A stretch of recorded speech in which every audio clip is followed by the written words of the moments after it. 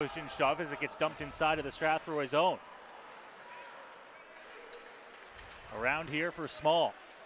Small, odd angle shot. Reed makes the blocker save. Picked up on the far side. Another one put towards the net. That one bangs off the glass behind it. Out front! Oh. Scores! Small banks it off the skate of a defender and in.